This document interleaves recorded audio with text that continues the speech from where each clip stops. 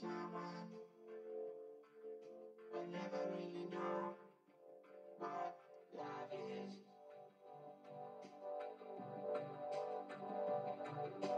Someone